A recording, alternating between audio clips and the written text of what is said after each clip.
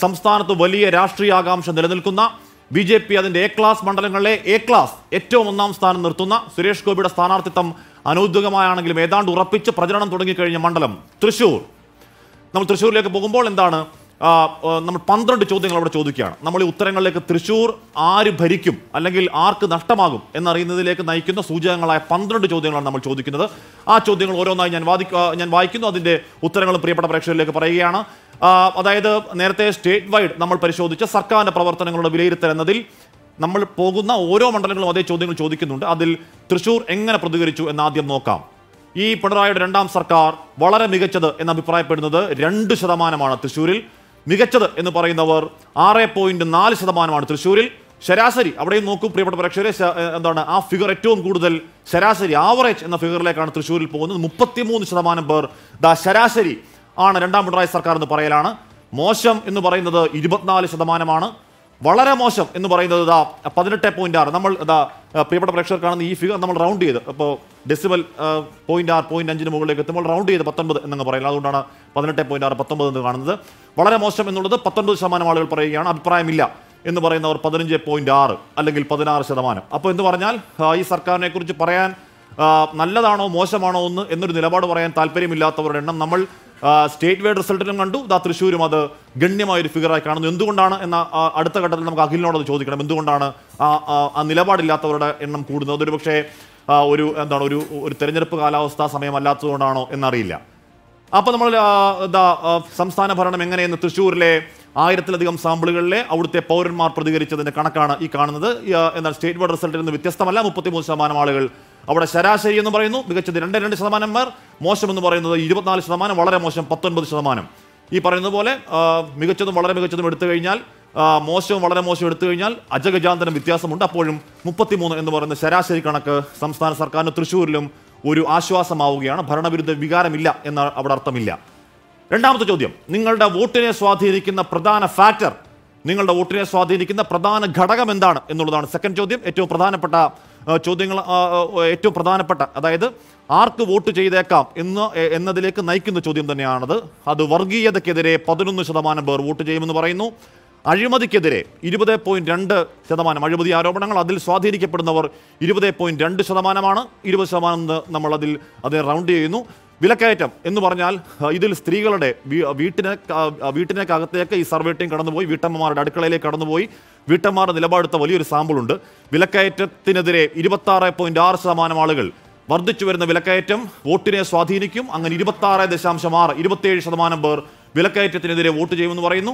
അവിടെ തൊഴിലില്ലായ്മ രണ്ട് പോയിന്റ് ഒന്ന് ശതമാനം. തൊഴിൽ ജോലിയില്ലാത്ത മനുഷ്യർ അല്ലെങ്കിൽ പതിനെട്ട് മുതൽ മുപ്പത്തഞ്ച് വരെയുള്ള ഏജ് ഗ്രൂപ്പിലുള്ള യുവാക്കളിൽ തൊഴിലില്ലായ്മ നിരക്ക് രണ്ട് പോയിന്റ് ഒന്ന് അല്ലെങ്കിൽ ആ, ഏജ് ഗ്രൂപ്പിലുള്ളവർ രണ്ട് പോയിന്റ് ഒന്ന് ശതമാനം പേർ ജോലി ഇല്ലാത്തതിനെതിരെ അല്ലെങ്കിൽ ജോലി തരാത്ത കേന്ദ്ര സംസ്ഥാന സർക്കാർ നിലപാടുകൾക്കെതിരെ വോട്ട് ചെയ്യുമെന്ന് അവർ പറയുന്നു.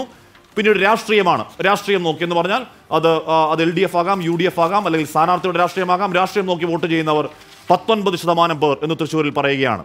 സ്ഥാനാർത്ഥി മികവിനുള്ള വോട്ട് എത്രയാണ്? ഇരുപത്തൊന്ന് പോയിന്റ് ഒന്ന് വോട്ട്. എന്ന് പറഞ്ഞാൽ എന്ന് പറഞ്ഞാൽ ഇതിൽ ഇതിൽ വർഗീയത പതിനൊന്ന് ശതമാനം പിന്നെ രാഷ്ട്രീയം നോക്കി വോട്ട് ചെയ്യൽ പത്തൊമ്പത് ശതമാനം. ഈ പത്തൊൻപതും പതിനൊന്നും അവിടുത്തെ തൃശ്ശൂരെ പൊളിറ്റിക്കൽ വോട്ടാണ് എന്ന് കൃത്യമായി പറയാം. പക്ഷേ ഈ ഈ ചോദ്യത്തിലെ ഉത്തരങ്ങൾ വരുന്ന ഫാക്ടേഴ്സ് ഏറ്റവും നിർണായകമാവുമെന്ന് എനിക്ക് തോന്നുന്നു. ഏറ്റവും കൂടുതൽ പേർ ഇരുപത്തേഴ് ശതമാനം പേർ വിലക്കയറ്റം നോക്കി വോട്ട് ചെയ്യുന്നു. അല്ലെങ്കിൽ വിലക്കയറ്റത്തിന് കാരണക്കാരാര് എന്നതിലേക്ക് നോക്കി അവർക്കെതിരായ വോട്ട് എന്നുള്ളത് പറയുന്നു. അത് ഉറപ്പായും വീട്ടമ്മമാരുടെ മാൻഡേറ്റ് ആണ് ഇനി നമ്മൾ മൂന്നാമത്തെ ക്വസ്റ്റിലേക്ക് പോകുന്നു.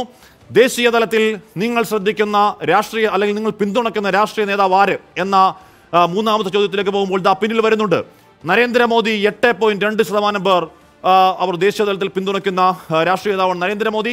രാഹുൽ ഗാന്ധി അറുപത്തിയൊന്ന് പോയിന്റ് രണ്ട് ശതമാനം. അത് ആ കണക്ക് സ്വാഭാവികമാണെന്ന് തോന്നുന്ന കാര്യം L D F U D F പ്രവർത്തകർക്ക് സി പി എം കോൺഗ്രസ് പ്രവർത്തകർക്ക് വലിയ സ്വാധീനമുള്ള ഒരു മണ്ഡലത്തിൽ സ്വാഭാവികമായും ഉത്തരം അറുപത്തൊന്ന് പോയിന്റ് രണ്ട് പേർ രാഹുൽ ഗാന്ധിക്ക് ദേശീയ ദേശീയ തലത്തിലേക്ക് പിന്തുണയ്ക്കുന്ന നേതാവ് നൽകി രാഹുൽ ഗാന്ധിക്ക് വരൂ. അങ്ങനെ തന്നെ കണക്ക് അത് അൺപ്രഡിക്റ്റബിൾ അല്ല. അറുപത്തൊന്ന് പോയിന്റ് രണ്ട് രാഹുൽ ഗാന്ധി. അരവിന്ദ് കെജ്രിവാളിനുണ്ട്. എത്രയാണ്? മൂന്ന് പോയിന്റ് ആറ് ശതമാനം അഥവാ നാല് ശതമാനം. യോഗി ആദിത്യനാഥിന്റെ പേര് അതിലുണ്ടായിരുന്നു പൂജ്യമാണ്. മല്ലികാർജുൻ ഖാർഗെയുടെ പേര് ആ, സർവേ ലിസ്റ്റിലുണ്ടായിരുന്നു പൂജ്യമാണ്. നിതീഷ് കുമാറിന്റെ പേര് ആ സർവേ ലിസ്റ്റിലുണ്ടായിരുന്നു പൂജ്യമാണ്. ശരത് പവാറിന്റെ പേരുണ്ടായിരുന്നു പൂജ്യമാണ്. അതിൽ ഒരു നിലപാട് പറയാൻ നോ കമൻസ് പറഞ്ഞവർ എണ്ണം ഇരുപത്തിയേഴ് ശതമാനമാണ്. അപ്പോൾ ഇത് അൺപ്രഡിക്റ്റബിൾ അല്ല. ഒരു എന്താണ് ഇത് പ്രതീക്ഷിക്കാവുന്ന. ഒരു പക്ഷേ കേരളത്തിൽ ഒട്ടുമിക്ക എല്ലാ മണ്ഡലങ്ങളും പ്രതീക്ഷിക്കാവുന്ന ഒരു റിസൾട്ട് അത് തന്നെയാണ്. ഇഷ്ട നേതാവ് കേന്ദ്രത്തിലേക്ക് പിന്തുണയ്ക്കുന്ന ഇഷ്ട നേതാവ് ആരെ എന്ന ചോദ്യത്തിന് എട്ട് എട്ട് ശതമാനത്തോടെ നരേന്ദ്രമോദി അറുപത്തൊന്ന് ശതമാനത്തോടെ ബഹുദൂരം മുന്നിൽ രാഹുൽ ഗാന്ധി. യെസ് പ്രിയപ്പെട്ട പ്രേക്ഷകർ നമ്മൾ അടുത്ത അടുത്ത ക്വസ്റ്റിലേക്ക് വളരെ പെട്ടെന്ന് പോകാം എന്ന് എന്ന് കരുതുകയാണ്. ഏറ്റവും പ്രധാനപ്പെട്ട ചോദ്യമാണ് സർക്കാരിന്റെ പ്രവർത്തനങ്ങൾ നിങ്ങൾ എങ്ങനെ വിലയിരുത്തുന്നു എന്ന ചോദ്യ ചോദ്യം പോലെ തന്നെ പ്രതിപക്ഷത്തിന്റെ പ്രവർത്തനങ്ങളെ നിങ്ങൾ എങ്ങനെ വിലയിരുത്തുന്നു? ഏറ്റവും ക്രൂഷ്യൽ ചോദ്യമാണ്. ഇതിന്റെ സ്റ്റേറ്റ്മെന്റ് ഉണ്ട് നമ്മൾ അടുത്ത ഘട്ടത്തിൽ ഉൾപ്പെടുത്തും. പക്ഷേ ഇത് ഈ മണ്ഡലത്തിലെ ഇത് ഈ മണ്ഡലത്തിലെ കണക്ക് മാത്രമാണ്. അതിന് വളരെ മികച്ചത് എന്ന് പറയുന്നവർ നാല് ശതമാനം നാല് പോയിന്റ് രണ്ട് നാല് ശതമാനം പേരാണ് വളരെ മികച്ചത് എന്ന് പറയുന്നത്. മികച്ചത് എന്ന് പറയുന്നത് പതിനഞ്ച് ശതമാനം പേരാണ്. ശരാശരി എന്ന് പറയുന്നത് നാൽപ്പത്തി മൂന്ന് പോയിന്റ് രണ്ട് ശതമാനം. ഓർക്കണം സംസ്ഥാന സർക്കാരിനെ വിലയിരുത്തിയതിൽ ആവറേജ് എന്ന് പറയുന്നത് ഒരു മേജർ ഫാക്ടർ ആവുന്നത് പോലെ പ്രതിപക്ഷത്തെ വിലയിരുത്തുമ്പോഴും ഏറ്റവും നിർണായകമാണ് ഇതൊരു ആവറേജ് പ്രതിപക്ഷമേ ഉള്ളൂ. ഇതൊരു ശരാശരി പ്രതിപക്ഷമേ ഉള്ളൂ. അല്ലെങ്കിൽ സംസ്ഥാന സർക്കാരിനെതിരെ ആഞ്ഞടിച്ചു നിൽക്കുന്ന അല്ലെങ്കിൽ വലിയ സമരമുഖങ്ങൾ ഏറ്റെടുക്കുന്ന വലിയൊരു പ്രതിപക്ഷമാണോ എന്ന കാര്യത്തിൽ ഏറ്റവും പക്ഷം തൃശ്ശൂർകാർക്ക് സംശയമുണ്ട്. നാൽപ്പത്തി മൂന്ന് ദശാംശം രണ്ട് ശതമാനം പേർ ജസ്റ്റ് ഓക്കെ പ്രതിപക്ഷം എന്ന നിലപാടുകാരാണ്. മോശം എന്ന് പറയുന്നു പതിനാറ് ശതമാനം.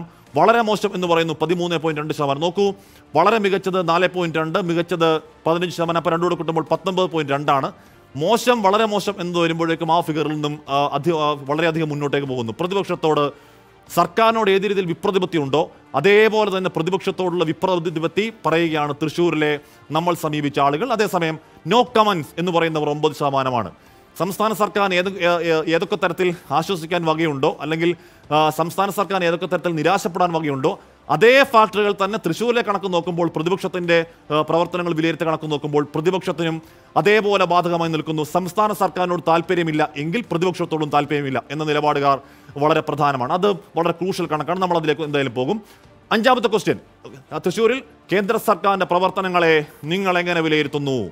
അത് പ്രധാനപ്പെട്ട ചോദ്യമാണ്. കാര്യം ബി ജെ പി അവരുടെ അവരുടെ പ്രധാന മണ്ഡലങ്ങൾ ഒന്നായി ഒന്നായി കണക്കാക്കുന്ന അവർക്ക് വോട്ട് ബേസ് ഉണ്ടെന്ന് പറയുന്ന അവർ എന്താണ് അവർ അവർ അവർ കാലാകാലങ്ങളിൽ കൃത്യം വോട്ട് ശതമാനം ഉയർത്തിക്കൊണ്ടുവരുന്ന ഒരു മണ്ഡലത്തിൽ കേന്ദ്ര സർക്കാർ പ്രവർത്തനങ്ങൾ എങ്ങനെ വിലയിരുത്തുന്ന ചോദ്യത്തിന് വളരെ മികച്ചത് എന്ന് പറയുന്നത് നോക്കൂ ഒന്നേ പോയിന്റ് മൂന്ന് ശതമാനം ആളുകൾ മാത്രമാണ്. ഒരു ശതമാനം ഒറ്റ ശതമാനം ആളുകളാണ് ദ ബെസ്റ്റ് അല്ലെങ്കിൽ ഔട്ട്സ്റ്റാൻഡിംഗ് സർക്കാർ എന്ന് പറയുന്ന ഒരു ശതമാനം ആളുകൾ മാത്രമാണ്. മികച്ചത് എന്ന് പറയുന്നത് ആറ് ശതമാനം ആളുകൾ മാത്രമാണ്. ശരാശരി എന്ന് പറയുന്നത് പതിനെട്ട് പോയിന്റ് ആറ് അഥവാ പത്തൊമ്പത് ശതമാനം ആളുകൾ മാത്രമാണ്. നോക്കൂ മോശം എന്ന് പറയുന്നതാണ് കൂടുതൽ മുപ്പത്തിരണ്ട് പോയിന്റ് ഒന്ന്. മുപ്പത്തിരണ്ട് ശതമാനം ആളുകൾ പ്രധാനമന്ത്രി നരേന്ദ്രമോദിയുടെ കേന്ദ്ര സർക്കാർ മോശമാണ് എന്ന് തൃശ്ശൂരിൽ പറയുകയാണ്. എവിടെയാണ്? തൃശ്ശൂരിലാണത് പറയുന്നത് എന്നത് വലിയ വലിയ പൊളിറ്റിക്കൽ ഇമ്പോർട്ടൻസ് ഉള്ള ഒരു മറുപടിയാണ്.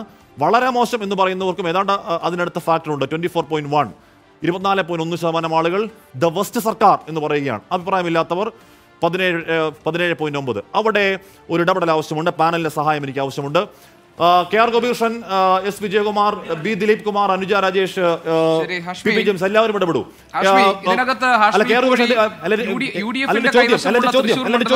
അല്ല ചോദ്യം ചോദ്യം തൃശ്ശൂർ ഇത് കേന്ദ്ര സർക്കാരിന്റെ വിലയിരുത്തൽ എന്ന് പറഞ്ഞാൽ ഈ രണ്ട് ഫാക്ടർ നോക്കുമ്പോഴേക്കും ഗണ്യ മേജർ ചങ്ക് കേന്ദ്ര സർക്കാർ മോശമാണ് തൃശ്ശൂരിൽ പറയുകയാണ്. ബി ജെ പി അവരുടെ എ ക്ലാസ് മണ്ഡലങ്ങളിൽ ഒന്നാം സ്ഥാനം എന്ന് കണക്കാക്കുന്ന മണ്ഡലത്തിലെ ഈ കണക്കിനെ എങ്ങനെ കാണണം? ഗോപികൃഷ്ണൻ. അതെ ഹാഷ്മി ഹാഷ്മി ഈ യു ഡി എഫിന്റെ കൈവശമുള്ള തൃശ്ശൂർ മണ്ഡലത്തെ ഹഷ്മി അവതരിപ്പിച്ചത് തന്നെ ബി ജെ പി ഏറ്റവും അധികം പ്രതീക്ഷ വെച്ച് പുലർത്തുന്ന എ ക്ലാസ് മണ്ഡലമെന്നാണ് ഇനി നമ്മൾ ഇതിനകത്ത് സംസ്ഥാന സർക്കാരിന്റെ പ്രവർത്തനങ്ങളെയും പ്രതിപക്ഷത്തിന്റെ പ്രവർത്തനത്തെയും കേന്ദ്ര സർക്കാരിന്റെ പ്രവർത്തനങ്ങളെയും തൃശ്ശൂരിലെ ശരാശരി വരുന്ന ജനങ്ങൾ എങ്ങനെ വിലയിരുത്തിയെന്ന് നോക്കാം. സംസ്ഥാന സർക്കാരിന്റെ പ്രവർത്തനത്തെക്കുറിച്ച് തൃശ്ശൂർക്കാർക്ക് പൊതുവിൽ ശരാശരിയിൽ താഴെ എന്ന അഭിപ്രായമാണ് ഉള്ളത് കാരണം മോശം ഏറ്റവും മോശം എന്നത് കണക്ക് കൂട്ടുമ്പോൾ നാൽപ്പത്തിമൂന്ന് ശതമാനമുണ്ട്. അഭിപ്രായം പറയാത്തവർ വേറെയുമുണ്ട്. പിന്നെ നമുക്ക് പ്രതിപക്ഷത്തിന്റെ പ്രവർത്തനങ്ങളെ ജനം വിലയിരുത്തിയത് നോക്കുമ്പോൾ അത് ശരാശരി മികച്ചതും വളരെ മികച്ചതും കൂടി നോക്കുമ്പോൾ ഏതാണ്ട് അൻപത് ശതമാനത്തിനടുത്തോ അതിന് പുറത്തോ അത് നിൽക്കുന്നുണ്ട്. പക്ഷേ കേന്ദ്ര സർക്കാരിന്റെ പ്രവർത്തനങ്ങളെ നോക്കൂ അവിടെ മുപ്പത്തിരണ്ട് ശതമാനം ഏതാണ്ട് മുപ്പത്തിമൂന്ന് ശതമാനത്തോളം ആളുകൾ കേന്ദ്ര സർക്കാരിന് മോശമായും വളരെ മോശമായി ഇരുപത്തിനാല് ശതമാനം ആളുകളും വിലയിരുത്തിയിട്ടുണ്ട്. അതായത് ബി ജെ പി വളരെയധികം പ്രതീക്ഷ വെച്ച് പുലർത്തുന്ന തൃശൂർ മണ്ഡലത്തിൽ ബി ജെ പിക്ക് അനുകൂലമായി നിൽക്കേണ്ട സാഹചര്യം ഇപ്പോൾ കേന്ദ്ര സർക്കാരിന്റെ പ്രവർത്തനം അതിന്റെ ഒരു ഒരു മാനദണ്ഡമാണെങ്കിൽ അതിനെ വളരെ മോശമായും മോശമായുമാണ് ഭൂരിപക്ഷം ആളുകളും വിലയിരുത്തിയിട്ടുള്ളത്. അപ്പോൾ പ്രതിപക്ഷത്തിന് അതായത് കേരളത്തിലെ യു ഡി എഫിന് അനുകൂലമായ നിലയിൽ ഇപ്പോഴും അവിടുത്തെ രാഷ്ട്രീയ സാഹചര്യം തൃശ്ശൂരിൽ നിലനിൽക്കുന്നുണ്ടെന്ന് നമുക്ക് മനസ്സിലാക്കാം. കാരണം കഴിഞ്ഞ ലോക്സഭാ തെരഞ്ഞെടുപ്പിൽ കോൺഗ്രസിന് അല്ലെങ്കിൽ യു ഡി എഫിന് മുപ്പത്തി ഒൻപത് പോയിന്റ് എട്ട് ശതമാനമായിരുന്നു തൃശ്ശൂരിൽ ഉണ്ടായിരുന്നത്. ടി എൻ പ്രതാപനാണ് അവിടുത്തെ എം പി നമുക്കറിയാം. അവിടെ സുരേഷ് ഗോപി അന്ന് നമുക്ക് ആ അവസാനം പോയാൽ പോരെ. നമുക്ക് ആ വിലയിരുത്തലേക്ക് മണ്ഡലത്തിന് റിസൾട്ട് വരെ പോകാൻ തോന്നുന്നു. നമുക്ക്. ബി ജെ പിയിലേക്ക് നിന്നാലോ? അല്ല K R Gopikrishnan Vijayakumar B J P ഒരുപക്ഷെ ദേശീയ തലത്തിൽ വയനാട് രാഹുൽ ഗാന്ധി മത്സരിക്കുന്നില്ലെങ്കിൽ ദേശീയ തലത്തിൽ ശ്രദ്ധിക്കപ്പെടാൻ പോകുന്ന കേരളത്തിലെ ഏക മണ്ഡലമാണ് അവിടെ അവിടെ വലിയ പരസ്യങ്ങളടക്കം എനിക്ക് തോന്നുന്നു കേരളത്തിൽ തന്നെ തൃശ്ശൂരിലേക്ക് മാത്രം പത്രങ്ങളിലേക്ക് ബി ജെ പി അവരുടെ നേട്ടങ്ങൾ എന്ത് എന്താണ് അമൃത് പദ്ധതിയോ അങ്ങനെ കുറേയധികം പദ്ധതികൾ തൃശ്ശൂരിലേക്ക് മാത്രമേ ജനങ്ങളിലേക്ക് എത്താൻ വേണ്ടി പോകുന്നു. കോഫി വിത്ത് എസ് ജി എന്ന തരത്തിൽ അവിടെ സുരേഷ് ഗോപി ഇറങ്ങുന്നു. അപ്പോൾ അങ്ങനെ കേന്ദ്ര സർക്കാർ നേട്ടങ്ങൾ ആഴത്തിലാഴത്തിൽ വേരോടിക്കാൻ ശ്രമം നടക്കുന്ന സ്ഥലത്ത് പോലും കേന്ദ്ര സർക്കാർ പ്രവർത്തനങ്ങൾ മോശമാണെന്ന് ഏതാണ്ട് അറുപത് അറുപത്തിനാല് ശതമാനം ആൾ പറയുകയാണ് അവിടെ. അല്ല എനിക്ക് തോന്നുന്നു അതിൽ അപ്പോഴും ഞാൻ കാണുന്നത് ഏതാണ്ട് ഇരുപത്തഞ്ച് ശതമാനത്തോളം ആളുകൾ കേന്ദ്ര സർക്കാരിനെ അവിടെ പിന്തുണയ്ക്കുന്നുണ്ട് എന്നൊരു കണക്ക് കൂടി നമ്മൾ ഈ ഘട്ടത്തിൽ കാണാതെ പോകരുത്. കേരളത്തിൽ L D F U D F ശക്തമായ പോരാട്ടം നടക്കുമ്പോഴും ഇരുപത്തഞ്ച് ശതമാനം ആളുകൾ തൃശ്ശൂർ പാർലമെന്റ് മണ്ഡലത്തിൽ കേന്ദ്ര സർക്കാരിന്റെ പ്രവർത്തനത്തെ പിന്തുണയ്ക്കുന്നു എന്നതായിരിക്കും ബി ജെ പി അവിടെ ആ കണ്ണ് ആഴത്തിൽ പതിപ്പിക്കാനുള്ള ഒരു സാഹചര്യമായി എനിക്ക് തോന്നുന്ന ഒരു അതിൽ ഇത് അതിൽ ഒരു പ്രധാനപ്പെട്ട ഒരു കാര്യം ഈ രണ്ട് സംസ്ഥാന സർക്കാരിന്റെ പ്രവർത്തനത്തെയും കേന്ദ്ര സർക്കാരിന്റെ പ്രവർത്തനങ്ങളെയും വിലയിരുത്തുമ്പോൾ സർക്കാരുകൾക്ക് അവിടെ ശരാശരിയോ അല്ലെങ്കിൽ അതിന് താഴെയോ ആണ്. അതിനൊരു പ്രധാനപ്പെട്ട ഘടകം. സ്വാഭാവികമായും ഇപ്പോൾ സംസ്ഥാന സർക്കാരിന്റെ പ്രവർത്തനത്തെ വിലയിരുത്തുന്ന ഒരു ചോദ്യം. ചോദിക്കുമ്പോൾ സ്വാഭാവികമായും അവിടെയുള്ള ഒരുപക്ഷെ ബി ജെ പിയുടെയോ അല്ലെങ്കിൽ യു ഡി എഫിന്റെയോ ഒരു പ്രവർത്തകൻ അത് സംസ്ഥാന സർക്കാരിനെതിരായിട്ടായിരിക്കും ആ വോട്ട് രേഖപ്പെടുത്തുക. കേന്ദ്ര സർക്കാരിന്റെ കാര്യത്തിൽ വരുമ്പോൾ തിരിച്ച് അതായത് സി പി ഐ എമ്മിന്റെയും കോൺഗ്രസിന്റെയും യു ഡി എഫിന്റെയും. എൽ ഡി എഫിന്റെയും യു ഡി എഫിന്റെയും പ്രവർത്തകർ അതാ അത് അവിടെ എല്ലാം ആ നിലയിൽ കേരളത്തിലെ പൊതുവേ തന്നെ ഈ മണ്ഡലങ്ങളിൽ ഇത്തരത്തിൽ കേന്ദ്ര സർക്കാരിന്റെ പ്രവർത്തനങ്ങളുമായി വിലയിരുത്തുമ്പോഴും സംസ്ഥാന സർക്കാരിന്റെ പ്രവർത്തനങ്ങളെ വിലയിരുത്തുമ്പോഴും ഈ നിലയിലുള്ള അതായത് ഈ മുന്നണികളുടെ രണ്ട് മുന്നണികളുടെ അതേസമയം നമ്മൾ സ്ഥാനാർത്ഥികളെ നോക്കുകയാണെങ്കിൽ സ്ഥാനാർത്ഥികൾ ഏതെങ്കിലും ഒരു സ്ഥാനാർത്ഥി ഏതെങ്കിലും മുന്നണി തൃശ്ശൂരിലെ ഘടകമാകാൻ പോകുന്നതിൽ ഒരു പ്രധാനപ്പെട്ട സംഗതി സ്ഥാനാർത്ഥി തന്നെ ആകുമെന്ന് എനിക്ക് തോന്നുന്നത് അതുകൊണ്ടാണ്. പക്ഷേ ഞാൻ പറഞ്ഞത് അപ്പോഴും ഈ ആന്റി സെൻട്രൽ ഗവൺമെന്റ് മൂഡുള്ള ഒരു സംസ്ഥാനമാണ് കേരളം എന്നത് തർക്കമൊന്നുമില്ല നമുക്ക്. പൊതുവെ L D F U D F ഒരുമിച്ചായിരിക്കും കേന്ദ്ര സർക്കാരിനെ എതിർക്കുക. അപ്പൊ അങ്ങനെ പോളറൈസ്ഡ് ആയ ഒരു സൊസൈറ്റിയിലേക്ക് ഒരു സമൂഹത്തിലേക്ക് ഈ ചോദ്യവുമായി ചെല്ലുമ്പോൾ ഇതാണ്ട് ഇരുപത്തഞ്ച് ശതമാനം ആളുകൾ നരേന്ദ്രമോദി സർക്കാരിനെ അവിടെ പിന്തുണയ്ക്കുന്നുണ്ട് എന്നത് ആ- മണ്ഡലത്തിൽ പ്രധാനപ്പെട്ടതാണ് അല്ലേ? വളരെ പ്രധാനപ്പെട്ടതാണ്. അല്ല വിജയൻ പറഞ്ഞ പോലെയാണെങ്കിൽ പ്രതിപക്ഷത്തിന്റെ പ്രവർത്തനത്തിന് ഇത്ര വലിയ പിന്തുണ ഇവിടെ കിട്ടാൻ പാടില്ല. അതെങ്ങനെ തൃശ്ശൂര് പ്രതിപക്ഷത്തിന്റെ പ്രവർത്തനങ്ങൾക്ക് ഏതാണ്ട് അൻപത് അതായത് സർക്കാരിനെ മോശമായി വിലയിരുത്തുകയും പ്രതിപക്ഷത്തിന്റെ പ്രവർത്തനത്തെ നന്നായി പരിഗണിക്കുകയും അതുമായി തട്ടിച്ചു വേണമല്ലോ കേന്ദ്ര സർക്കാരിന്റെ പ്രവർത്തനത്തിന് കിട്ടുന്ന പിന്തുണ നമ്മൾ കാണാം. കേരളത്തിലെ കേരളത്തിലെ ബി ജെ പി പ്രവർത്തകർ എക്കാലത്തും ആന്റി സി പി എം ആണ്. ഞാൻ പക്ഷേ കാണുന്നത് ഇതിനകത്ത് തൃശൂർ തൃശ്ശൂർ മണ്ഡലത്തെ കുറിച്ച് അഭിപ്രായം പറഞ്ഞില്ല. ഞാൻ ഇതിൽ പ്രധാനമായും ഈ ബി ജെ പിയുടെ എ ക്ലാസ് പ്രതീക്ഷയുള്ള മണ്ഡലം എന്നൊക്കെ പറയുമ്പോഴും ഞാനിതിൽ കാണുന്ന കേന്ദ്ര സർക്കാരിന്റെ പ്രവർത്തനത്തെ മോശമെന്ന് മുപ്പത്തിരണ്ട് ദശാംശം ഒന്ന് ശതമാനം ആളുകൾ വിലയിരുത്തുന്നു എന്നുള്ളത് വളരെ പ്രധാനപ്പെട്ട ഒരു സൂചനയായി ഞാൻ കാണുന്നുണ്ട്. മറ്റൊന്ന് ഞാൻ കണ്ടത് ഈ അഴിമതി എന്നുള്ളതൊരു പ്രധാനപ്പെട്ട ഘടകമായി വോട്ടേഴ്സ് പറയുന്നുണ്ട്. അത് അഴിമതി എന്ന് പറയുമ്പോൾ നമ്മളെപ്പോഴും തൃശ്ശൂരിലേക്ക് പോകുമ്പോൾ നമ്മളിപ്പോൾ മനസ്സിലേക്ക് വരുന്നത് ഇ ഡിയുമായി ബന്ധപ്പെട്ടുള്ള കാര്യങ്ങളൊക്കെയാണ്. അപ്പോൾ അത് ആളുകൾ അത് ഒരു പക്ഷേ ഒരു ഘടകമായിട്ട് ഇവിടെ എടുത്തിട്ടുണ്ടെങ്കിൽ അത് ആരെ തുണയ്ക്കും എന്നൊക്കെയുള്ളത് പ്രധാനമാണ് എന്ന് എനിക്ക് തോന്നുന്നു. നമ്മുടെ റിസൾട്ടിലേക്ക് വരുമ്പോൾ സ്വാഭാവികം അതിനുള്ള മറുപടി ഉണ്ട്. നമ്മുടെ. റിസൾട്ടിലേക്ക് ദേശീയ തലത്തിൽ പിന്തുണയ്ക്കുന്ന രാഷ്ട്രീയ നേതാവ് എന്ന് പറയുമ്പോൾ നരേന്ദ്രമോദിക്കുള്ള പിന്തുണ വളരെ കുറവാണ്. മാത്രമാണ്. അല്ലെ തൃശ്ശൂരിൽ ഇതുവരെ വായിച്ച ചോദ്യങ്ങളും ഇതും എനിക്ക് തോന്നുന്നത് നിലവിൽ ഭരിക്കുന്ന നിലവിൽ അവിടെ ഇരിക്കുന്ന എം പി ആരോ അവർക്ക് ഉള്ള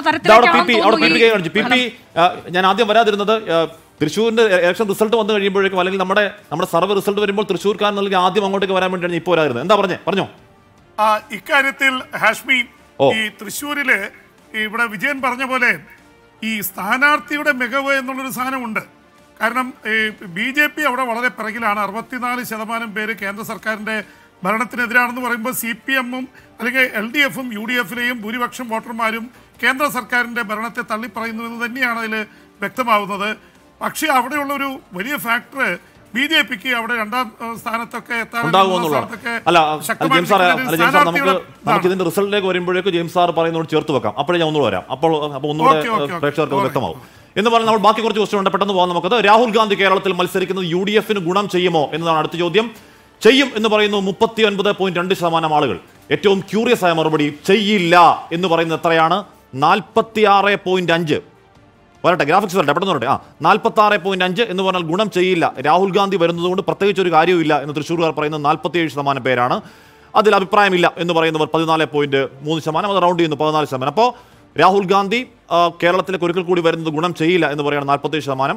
അത് കേരളത്തിൽ മൊത്തത്തിൽ എന്താണ് രാഹുൽ ഗാന്ധിയുടെ വരവുമായി ബന്ധപ്പെട്ട ശതമാനം എന്നുള്ളത്? രാഹുൽ ഗാന്ധി വയനാട്ടേക്ക് വരുമ്പോൾ ആദ്യം ഉണ്ടായിരുന്ന ഒരു വൗ ഫാക്ടർ ഇപ്പോഴുണ്ടോ എന്നതിന്റെ മറുപടി കൂടിയാവും. എന്തായാലും അത് മറ്റു മണ്ഡലം കൂടി എടുത്താൽ മാത്രമേ അത് സ്റ്റേറ്റ് വൈഡ് ആയാൽ മാത്രമേ ആ ഉത്തരം പൂർണമാവും. നമുക്ക് വളരെ പെട്ടെന്ന് നമ്മൾ അടുത്ത ക്വസ്റ്റിലേക്ക് പോകുന്നത് എന്താണ്? ഇസ്രയേൽ പലസ്തീൻ സംഘർഷ വിഷയത്തിൽ നിങ്ങളുടെ നിലപാട് ആർക്കൊപ്പമാണ് എന്ന് പറയുന്നത് കേരളത്തിൽ സദ്ദാം ഹുസൈൻ അടക്കം രാഷ്ട്രീയ വിഷയമായ ഒരു കേരളത്തിൽ. അടുത്ത കാലത്ത് ഹമാസും ഹമാസും ഇസ്രയേലും ഫലസ്തീനും അവിടുത്തെ ദുരിതങ്ങളും ഒക്കെ വലിയ രാഷ്ട്രീയ ചർച്ചയായ കേരളത്തിൽ ഈ ചോദ്യത്തിന് ഇപ്പോൾ പ്രസക്തിയുണ്ട്. എൽ ഡി എഫിന്റെ നിലപാട് എൽ ഡി എഫ് എന്താണ് ഫലസ്തീന് വേണ്ടി എടുക്കുന്ന നിലപാട് നിലപാടിനൊപ്പം ഇരുപത് ശതമാനം ആളുകൾ നിൽക്കുന്നു. യു ഡി എഫിന്റെ നിലപാടിനൊപ്പം നിൽക്കുന്നത് പതിനെട്ട് ശതമാനം പേരാണ്. നോക്കൂ തൃശ്ശൂരിൽ ബി ജെ പി എടുക്കുന്ന നിലപാടിനൊപ്പം നിൽക്കുന്ന ഇരുപത് ശതമാനമാണ്. എന്ന് പറഞ്ഞാൽ എന്ന് പറഞ്ഞാൽ കേന്ദ്ര സർക്കാരിന്റെ പുതിയ വിദേശ നയത്തിലെ ഇസ്രായേലിന് അനുകൂലമായ മാറ്റം പരോക്ഷ മാറ്റത്തിനടക്കം നിൽക്കുന്ന ശതമാനം ഇരുപത് ശതമാനമാണ്. എൽ ഡി എഫിനും ബി ജെ പിക്കും നിൽക്കുന്നവർ ട്വന്റി പെർസെന്റ്. അതിൽ അഭിപ്രായമില്ല എന്ന് പറയുന്നവർ നാൽപ്പത്തിരണ്ട് ശതമാനമാണ്. അത് വലിയ അത് അതെന്താണ്? അതൊരു വലിയ ശതമാനമാണ്. ഇപ്പോൾ ഇസ്രായേൽ പോലൊരു വിഷയത്തിൽ നാൽപ്പത്തിരണ്ട് ശതമാനം പേർക്ക് അതിൽ അതിൽ നോട്ടയ്ക്കാണ് വോട്ട് കൂടുതൽ എന്ന് പറയുന്നവർ നാൽപ്പത്തിരണ്ട് ശതമാനം പേർക്ക് അതിൽ കൂടുതൽ നിലപാട് പറയാൻ താല്പര്യമില്ല. പക്ഷേ അതിൽ പ്രധാനമുണ്ട് U D F L D F U D F അതിൽ ഏതാണ്ട് ഒരു നിലപാടാണ്. അത് പോട്ടെ. പക്ഷേ എൽ ഡി എഫിന്റെ നിലപാട് L D F twenty percent B J പിക്ക് ഇപ്പം ട്വന്റി പെർസെന്റ് അത് നിർണായകമായ ഒരു ക്രൂഷ്യൽ ഉത്തരമാണ്. നമ്മൾ അടുത്ത ചോദ്യത്തിലേക്ക് വളരെ പെട്ടെന്ന് പോകുന്നു. രാജ്യം ഭരിക്കുന്ന പാർട്ടി ഇ ഡി പോലെയുള്ള ഏജൻസികളെ രാഷ്ട്രീയ ആയുധമായി ഉപയോഗിക്കുന്നതായി നിങ്ങൾ കരുതുന്നുണ്ടോ എന്നതായിരുന്നു ആ ചോദ്യം. ഉണ്ട് എന്ന് പറയുകയാണ് തേർട്ടി പോയിന്റ് വൺ പെർസെന്റ് എന്ന് പറഞ്ഞാൽ എന്ന് പറഞ്ഞാൽ ആയുധമായി ഉപയോഗിക്കുന്നുണ്ട് എന്ന് പറയുകയാണ് മുപ്പത് പോയിന്റ് ഒരു ശതമാനം ആളുകൾ. ഇല്ല എന്ന് പറയുകയാണ് ഇരുപത്തെട്ട് പോയിന്റ് രണ്ട് ശതമാനം ആളുകൾ. അഭിപ്രായമില്ല എന്ന് പറയുന്നു. നോട്ടയ്ക്ക് വോട്ട് കൂടുതൽ എന്ന് പറയുന്നത് നാൽപ്പത്തിരണ്ട് ശതമാനം ആളുകൾ. അവർക്കതിൽ പറയാൻ താല്പര്യമില്ല. ഉണ്ടെന്ന് മുപ്പത് ശതമാനം തൃശ്ശൂരിൽ പറയുമ്പോൾ കരുവന്നൂർ അടക്കമുള്ള വിഷയങ്ങളുണ്ട്. കരുവന്നൂർ അടക്കമുള്ള വിഷയങ്ങളിൽ അവിടെ ഇ ഡി ഇറങ്ങിയതാണ്. അത് ഇ ഡി ഇറങ്ങിയതിനെ ന്യാ- ന്യായീകരിക്കുന്ന ഒരുപാട്. അത് സ്വാഭാവികമാണ്. കരുവന്നൂർ അത്രത്തോളം വലിയ വിഷയമായിരുന്നു.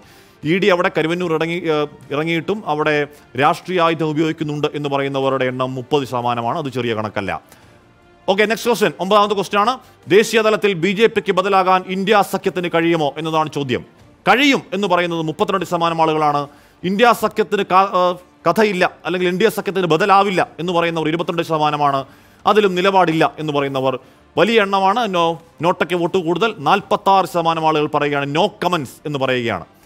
അപ്പോൾ അതും ഞാൻ വീണ്ടും പാനലിലേക്ക് പോകുന്നു. ഞാൻ പി പി ജെയിംസിലേക്കാണ്. അപ്പോൾ ജെയിംസ് നമ്മൾ ആദ്യം പറഞ്ഞ അതായത് കേന്ദ്ര സർക്കാരിന്റെ പ്രവർത്തനത്തെ ബഹുഭൂരിപക്ഷം ആളുകൾ മോശം അല്ലെങ്കിൽ ഇരുപത്തി ആറ് ശതമാനം ആളുകൾ വെരി വസ്റ്റ് എന്ന നിലപാട് സ്വീകരിച്ച അതേ ജില്ലയിൽ ദാ പറയുകയാണ് N D A N D A സഖ്യത്തിന് ബദലാകാൻ ഇന്ത്യ സഖ്യത്തിന് കഴിയുമെന്ന് പറയുന്നവരുടെ എണ്ണം മുപ്പത് ശതമാനമാണ്. രണ്ട് ചോദ്യങ്ങളും തമ്മിൽ ഒരു സിമിലാരിറ്റി തോന്നുന്നുണ്ടോ? അല്ലെങ്കിൽ വരാൻ പോകുന്ന നമ്മുടെ ഫലത്തിലേക്ക് എത്താനുള്ള ഒരു ദിശാസൂചകം പോലെ തോന്നുന്നുണ്ടോ? P P. ഓ തീർച്ചയായിട്ടും. ഇതിന് ഒരു ഒരു ദിശ സൂചിക പോലെ തോന്നുന്നുണ്ട്. പ്രത്യേകിച്ച് ഇതുവരെ വന്ന കാര്യത്തിൽ പ്രതിപക്ഷത്തിന് അനുകൂലമായിട്ട് ഒരുപാട് ഇതില്ലെങ്കിലും നാൽപ്പത്തി മൂന്ന് ശതമാനത്തിന്റെ ഇത് കാണിച്ചിരിക്കുന്നു. രാഹുൽ ഗാന്ധിക്ക് അനുകൂലമായിട്ടുള്ള ഫാക്ടർ അത്ര വലിയ കാര്യമായിട്ട് കാണിച്ചിട്ടില്ല. എന്തായാലും കഴിഞ്ഞ തെരഞ്ഞെടുപ്പിൽ രാജ് വലിയ രീതിയിൽ രാഹുൽ ഗാന്ധി ഫാക്ടർ ഉണ്ടായിരുന്നു ശബരിമല ഫാക്ടർ ഉണ്ടായിരുന്നു. പക്ഷെ ഇത്തവണ ആ തരത്തിൽ രാഹുൽ ഗാന്ധി ഫാക്ടർ ആദ്യം വരുന്ന ഒരു ത്രില്ല് രണ്ടാമത് വരുമ്പോൾ ഇല്ല എന്നുള്ളത് തൃശ്ശൂരിൽ കാണിക്കുന്നുണ്ട്. പക്ഷേ ഇതൊക്കെയാണെങ്കിലും അവിടുത്തെ ഒരു ട്രെൻഡ് കാണിക്കുന്നത് യു ഡി എഫിന് ഒരു അനുകൂലമായിട്ട് ചെറുതായിട്ടുള്ളൊരു ഇതാണ് ട്രെൻഡാണ് ഇപ്പോൾ ഒരു വിലയിരുത്തുമ്പോൾ ബോധ്യമാവുന്നത്. പക്ഷേ തൃശ്ശൂർ എല്ലാ കാലത്തും അങ്ങോട്ടും ഇങ്ങോട്ടും നിന്നിട്ടുള്ള ഒരു പാർലമെന്റാണ് നേരത്തെ പി ആന്റണി അടക്കമുള്ള ഒരുപാട് പേര് ജയിച്ചു കയറുമ്പോഴും പിന്നീട് അവിടെ കെ കരുണാകരൻ എന്ന വലിയ നേതാവിനെ വി വി രാഘവൻ എന്ന സി പി ഐയുടെ നേതാവ് പരാജയപ്പെടുത്തിയ മണ്ഡലമാണത്. അപ്പോൾ തൃശ്ശൂർ ആൾക്കാരുടെ മനസ്സ് അത്ര വേഗത്തിൽ പറയാൻ പറ്റില്ല. പക്ഷേ ഇപ്പോഴായിട്ട് ഇപ്പോൾ യു ഡി എഫിന് ടി എൻ പ്രതാപൻ നല്ല ഭൂരിപക്ഷത്തിലാണ് അവിടെ വിജയിച്ചത്. യു മതി പ്രധാനമാണ് നമ്മൾ അതിലേക്ക് എത്തും. നമ്മൾ.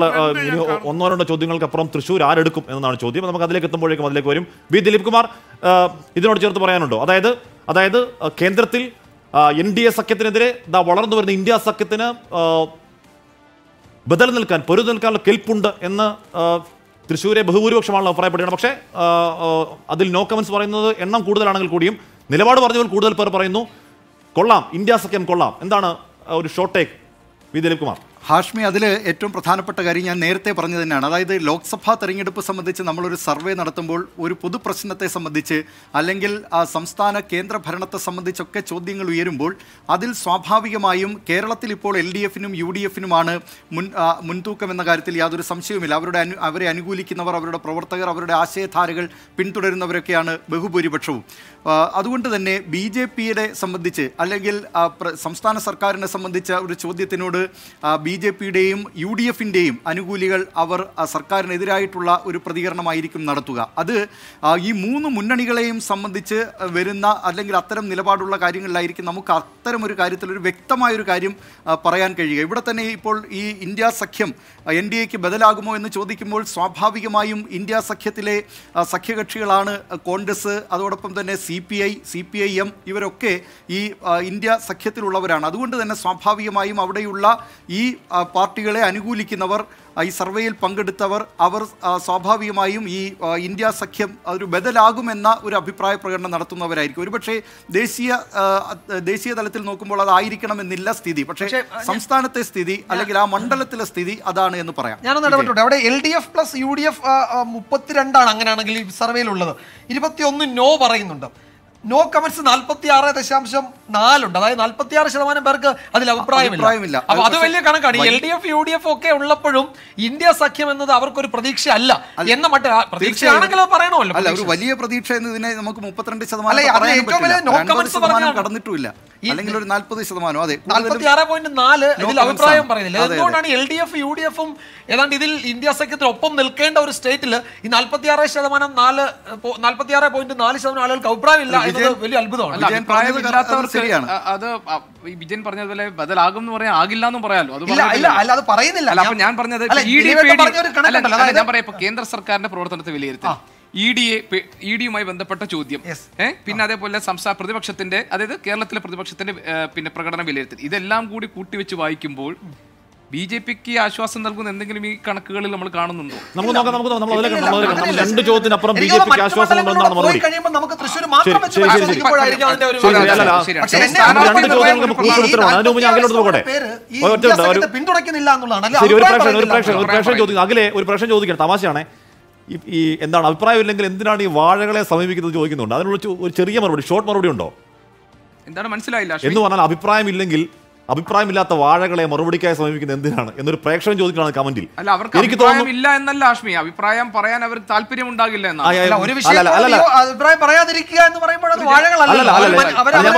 പറഞ്ഞത് അല്ല ചോദ്യം ചോദ്യം അല്ല ചോദ്യം കേൾക്കൂ ഒരു ചോദ്യം കേൾക്കൂ.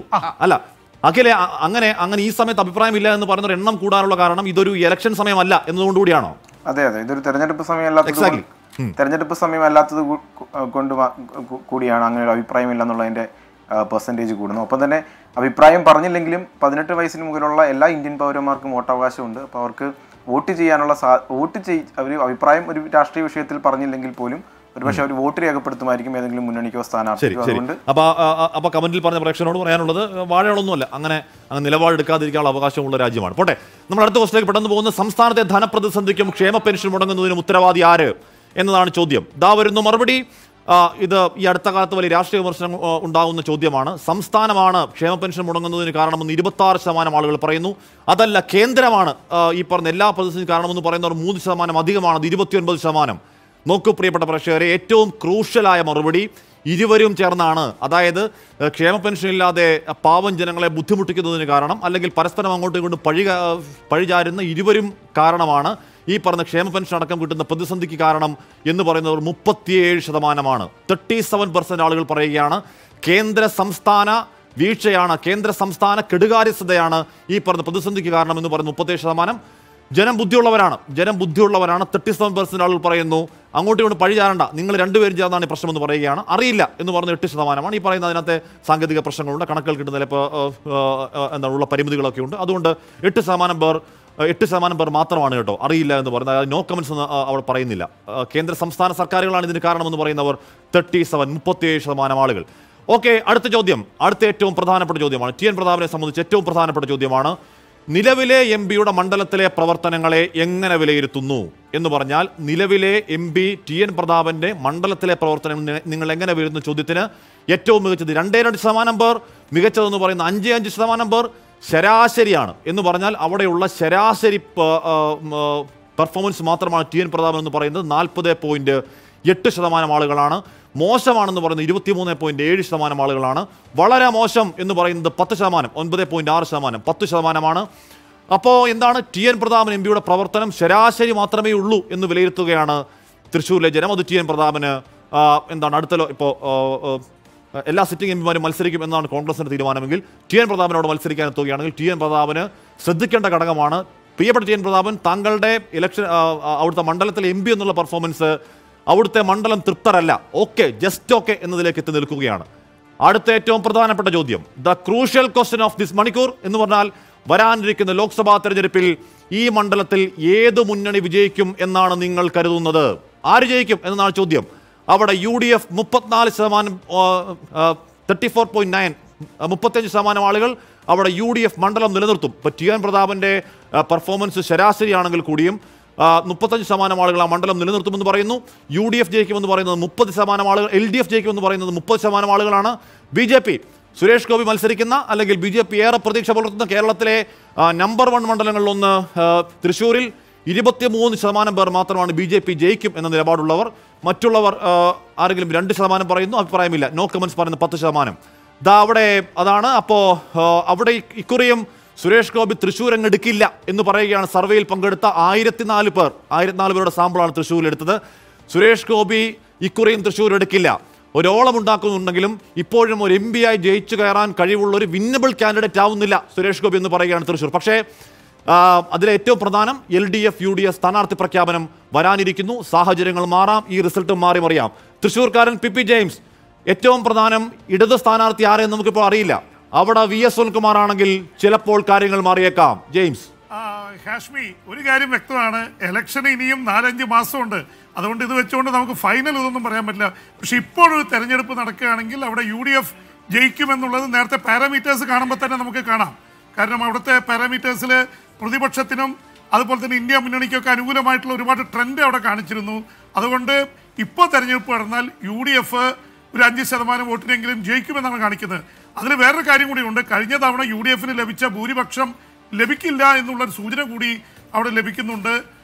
ബി ജെ പി പറഞ്ഞ പോലെ തന്നെ മൂന്നാം സ്ഥാനത്ത്. ഈ കഴിഞ്ഞ അതേ പാറ്റേൺ തന്നെയാണ് നമ്മൾ കാണുന്നത്. തൃശ്ശൂരിൽ യു ഡി എഫിന് അനുകൂലമായിട്ടുള്ള ഒരു ട്രെൻഡ് നിൽക്കുന്നു. പിന്നെ ഒരു കാര്യം കൂടി ഹാഷ്മി നമ്മൾ ശ്രദ്ധിക്കണം. നിയമസഭാ തെരഞ്ഞെടുപ്പിൽ നമ്മൾ സാമ്പിൾ നടത്തിയ നാല് മണ്ഡലങ്ങളിലും എൽ ഡി എഫ് ആണ് ജയിച്ചത്. അപ്പോൾ നിയമസഭയുടെ ഒരു പാറ്റേൺ അല്ല ലോക്സഭയിൽ. പൊതുവെ കേരളത്തിൽ ലോക്സഭാ തെരഞ്ഞെടുപ്പിൽ ഒരു യു ഡി എഫിന് ഒരു അപ്പർ ഹാൻഡ് ലഭിക്കാറുണ്ട്. അത് പക്ഷെ നിയമസഭയിൽ കിട്ടണമെന്നില്ല. പത്തൊമ്പത് സീറ്റ് ലോക്സഭയിൽ ഇരുപതിൽ പത്തൊമ്പത് സീറ്റ് നേടിയ യു ഡി എഫ് പിന്നീട് നിയമസഭാ തിരഞ്ഞെടുപ്പിൽ ദയനീയമായി തോൽക്കുന്ന കാഴ്ച നമ്മൾ കണ്ടതാണ്. അതുകൊണ്ട് ലോക്സഭയിൽ എപ്പോഴും യു ഡി എഫിന് ഒരു ചെറിയ അപ്പർ ഹാൻഡ് ലഭിക്കാറുണ്ട്. പ്രത്യേകിച്ച് ദേശീയ തലത്തിൽ എൽ ഡി എഫിന്റെ ഒരു പങ്കാളിത്തം വളരെ കുറവാണ്.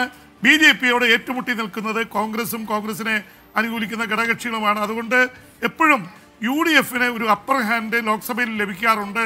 അത് നിയമസഭയുടെ കാര്യങ്ങൾ വെച്ചുകൊണ്ട്. അതാണ് സംസ്ഥാന സർക്കാർ ശരിയാശരിയായിട്ട് നിൽക്കുന്നു. പക്ഷേ ഇവിടെ യു ഡി എഫ് ജയിക്കുന്നു. അതിന് ഒരു കാരണമായിട്ട് ഈ ലോക്സഭയിലെ പൊതുവെയുള്ളൊരു ട്രെൻഡ് പൊതുവെ യു ഡി എഫിന് അനുകൂലമായിട്ട് വരാറുണ്ട്. ഇപ്പോൾ. ഒന്നുകൂടി പ്രേക്ഷകരുടെ ഒരു വ്യക്തതയ്ക്കായി പറയുന്നത് നമ്മൾ തൃശ്ശൂരിൽ നിന്നും കോർ ടീം സാമ്പിൾ ശേഖരിച്ചത് നാല് മണ്ഡലങ്ങളാണ്. ഒന്ന് തൃശ്ശൂരാണ് നമുക്കറിയാം. അവിടെ അത് അവിടെ മൂന്ന് മുന്നണിക്കും ഏതാണ്ട് തുല്യമായിട്ടുള്ള ഏതാണ് തുല്യമായ വലിയ വോട്ട് ബേസ് ഉള്ള സ്ഥലമാണ് തൃശ്ശൂർ രണ്ട് ഒല്ലൂരാണ് എന്താണ് ക്രിസ്ത്യൻ ഭൂരിപക്ഷ മേഖലയാണ്. അവിടെ ജയിക്കുന്നവർ എന്താണ് സംസ്ഥാന ഭരണം പിടിക്കും എന്നൊക്കെയുള്ള വിശ്വാസമുള്ള സ്ഥലമാണ്. ഒല്ലൂർ മണ്ണുത്തി അടക്കമുള്ള സ്ഥലം. പിന്നെ നാട്ടിക ഈ പറയുന്ന ഒരുപക്ഷെ V S Sunilkumar സ്ഥാനാർത്ഥിയാവുകയും V S Sunilkumar T N Prathapan അങ്ങനെ ഒരുപാട് രാഷ്ട്രീയ നേതാക്കളുടെ കർമ്മമണ്ഡലം പൊളിറ്റിക്കലി ചാർജ്ഡ് സ്ഥലമാണ്. നാട്ടിക പിന്നീട് ഗുരുവായൂർ. തീരദേശ മേഖലയാണ്. ധീവര വോട്ടുകൾ പ്രധാനമായും ഒരു മേഖലയാണ്. മുസ്ലിം വോട്ടുകൾ പ്രധാനമായ മേഖല ഞാൻ വീണ്ടും പാനലിലേക്ക് പോകുന്നു. K R Gopikrishnan S Vijayakumar B Dileep Kumar Anuja. ഇവിടെ ഏറ്റവും പ്രധാനം തൃശ്ശൂർ യു ഡി എഫ് നിലനിർത്തുന്നു എന്ന ഈ സർവേ പറയുമ്പോൾ എൽ ഡി എഫിന് സ്ഥാനാർത്ഥിയായിട്ടില്ല. എന്ന് എന്ന് പറഞ്ഞാൽ വി എസ് സുനിൽകുമാറിനെ പോലെ ഒരു തൃശ്ശൂർ ഘടിയാണ് അവിടെ എൽ ഡി എഫിന്റെ സ്ഥാനാർത്ഥിയെങ്കിൽ ആവറേജ് പെർഫോമൻസ് എന്ന് വിലയിരുത്തിയ ടി എൻ പ്രതാപൻ വിയർക്കും ചിലപ്പോ. പാനൽ. അല്ല ഹഷ്മി ഇതിപ്പോൾ ജെയിംസ് സാർ പറഞ്ഞതിന്റെ ഒരു തുടർച്ചയായിട്ട് പറയാം.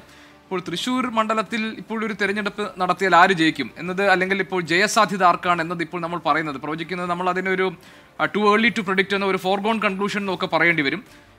പക്ഷേ എന്നാലും നമ്മൾക്ക് ഈ ജനങ്ങളുടെ മനസ്സ് നമ്മൾ വായിക്കുമ്പോൾ അല്ലെങ്കിൽ അവരുടെ അഭിപ്രായങ്ങളിൽ നിന്ന് അവർ ഈ ചോദ്യങ്ങളോട് പ്രതികരിച്ച അവരുടെ അഭിപ്രായങ്ങളിൽ നിന്ന് നമ്മൾ മനസ്സിലാക്കുന്നത് ഒരു സ്റ്റാറ്റസ്കോ മെയിന്റെയിൻ ചെയ്യുന്ന ഒരു സാഹചര്യമാണ്. അതായത് എന്താണോ തൃശ്ശൂരിൽ നമ്മൾ കഴിഞ്ഞ ലോക്സഭാ തെരഞ്ഞെടുപ്പിൽ കണ്ടത് അത് അതേപടി തന്നെ നിലനിർത്തുന്നു അല്ലെങ്കിൽ ചെറിയ മാറ്റങ്ങളോടുകൂടി നിലനിർത്താൻ ഇടവരുത്തുന്ന ഒരു സാഹചര്യമാണ് ഇപ്പോഴും തൃശ്ശൂരിലുള്ളതാണ്.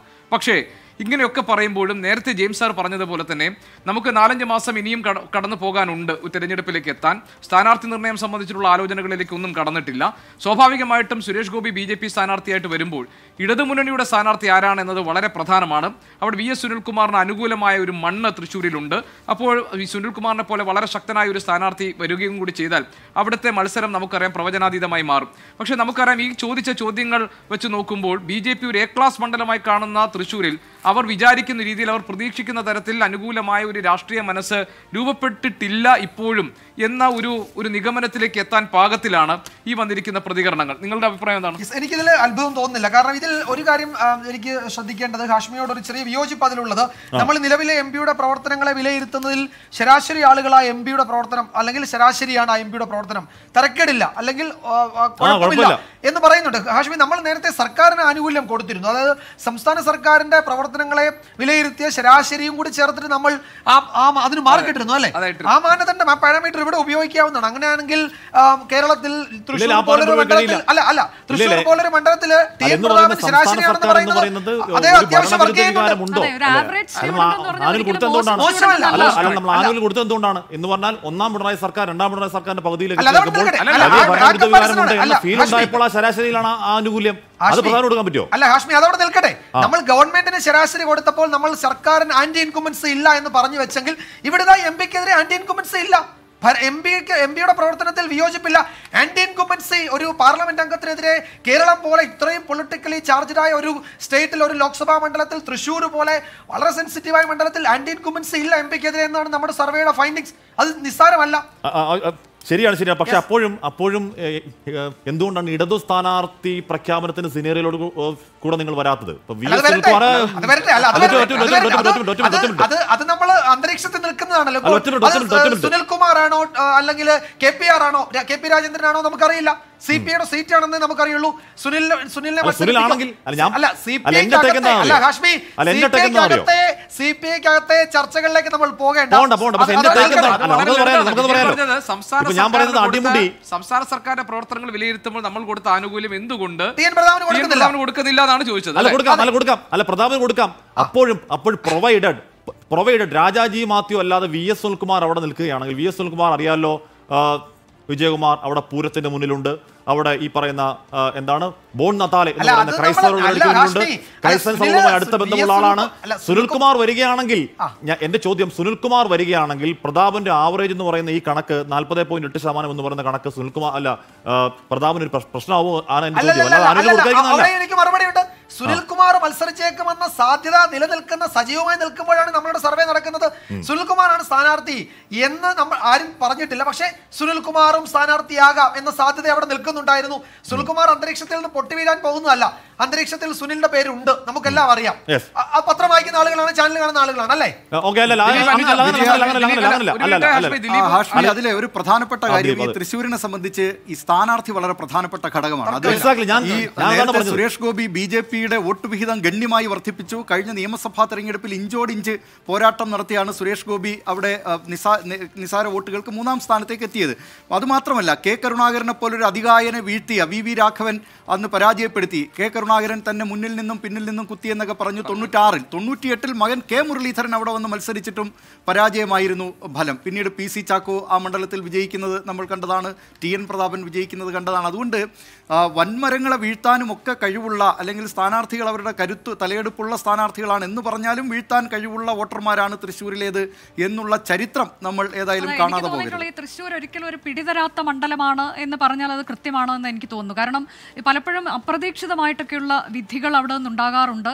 അത് നമ്മൾ ദുർബലരായിട്ടുള്ള സ്ഥാനാർത്ഥികളെയൊക്കെ ചിലപ്പോൾ തുണയ്ക്കുന്നത് കണ്ടിട്ടുണ്ട്. അപ്പോൾ ആ തരത്തിലേക്കൊക്കെ എനിക്ക് തോന്നുന്നു തൃശ്ശൂർ അങ്ങനെയൊക്കെ ചെയ്യുന്ന ഒരു മണ്ഡലം കൂടിയാണ്. അപ്പോൾ ശരിയാണ് അപ്പൊ ഉദ്ദേശമാണെങ്കിൽ അവിടെ അവർ അവർ ഗ്രൗണ്ടിൽ ഇപ്പോൾ അവർ വലിയ ഗ്ലാമറുള്ള കാണാൻ വലിയ ഭംഗിയുള്ള മനുഷ്യരൊന്നും ആവില്ല. പക്ഷേ ഗ്രൗണ്ടിൽ അവരുടെ ആഴത്തിൽ വേരുകളുണ്ടായിരുന്നു. ആ ആ- ആ വേരുകൾ ആ വേരുകൾ തുണച്ച ഈ പറഞ്ഞ ടൈപ്പ് സ്ഥാനത്തിനുണ്ട് അനുജ അനുജ് ചേർത്ത് എനിക്ക് പറയാനുള്ളത് സുരേഷ് ഗോപിയുടെ പ്രശ്നം. സുരേഷ് ഗോപി ആദ്യം വന്നപ്പോൾ ഒരു വലിയ വാവ് ഫാക്ടർ ഉണ്ടായിരുന്നു. ഒരു നടൻ എന്നുള്ള ഒരു ഗ്ലാമർ ഉണ്ടായിരുന്നു. പക്ഷേ വിജയകുമാർ ആ ഗ്ലാമറും ആ വൗ ഫാക്ടറും കുറയുന്നതും സുരേഷ് ഗോപി പ്രശ്നമുണ്ടാകും മാത്രമല്ല സുരേഷ് ഗോപി ഈ അടുത്ത തോന്നുന്നു കാലത്തും ഈ ഉണ്ടോ? വൗ ഫാക്ടർ എന്നുള്ള മാറ്റി വെച്ചാൽ ഈ കഴിഞ്ഞ തവണ വന്നതിനേക്കാൾ ഇപ്പോ കുറെ കൂടി അദ്ദേഹം ഒരു മണ്ഡലത്തിന്റെ ഭാഗമാകാൻ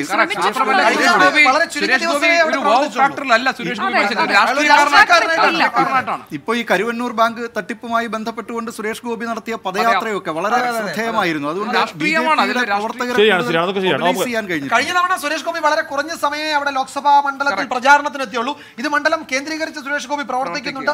അത് രാഷ്ട്രീയമായി ഉപയോഗിക്കാനൊക്കെ കഴിയും. ഞാൻ നമ്മൾ അങ്ങനെ പറയേണ്ടതില്ല. പക്ഷേ ഞാൻ എന്റെ ഒരു ഒറ്റ വിയോജിപ്പേ ഉള്ളൂ. ആന്റി ഇൻകുമ്പൻസി എന്നത് ആ മണ്ഡലത്തിൽ ഈ സർവേ വെച്ച് നമുക്ക് എം പിക്കെതിരെ ഉണ്ടെന്ന് പറയാൻ കഴിയില്ല. ഒരു കാര്യം ഇപ്പോൾ ഇതിൽ ഈ ക്രൈസ്തവ വോട്ടുകൾ വളരെ നിർണായകമാണെന്ന് തോന്നുന്നു തൃശ്ശൂർ മണ്ഡലത്തിൽ. ഏതാണ്ട് ഒരു ലക്ഷത്തിന് മുകളിൽ ക്രൈസ്തവ വോട്ടുകളുണ്ട്. അത് ഈ മണിപ്പൂർ വിഷയത്തിലൊക്കെ ഒരു പക്ഷേ അതൊക്കെ അവരെ സ്വാധീനിച്ചിട്ടുണ്ടാകാം. ഈ ഘട്ടത്തിൽ നമ്മളൊരു സർവേയിലേക്ക് പോകുമ്പോൾ അതൊക്കെ എങ്ങനെയാണ് ഗോപിക്കെതിരെ ബി ഒരു ജെ പിക്ക് അനുകൂലമായിട്ട് ഒരു കാരണവശാലും വരാൻ സാധ്യതയില്ല. പറയുകയും ഇപ്പൊ സുരേഷ് ഗോപി മണിപ്പൂരിൽ എന്താണ്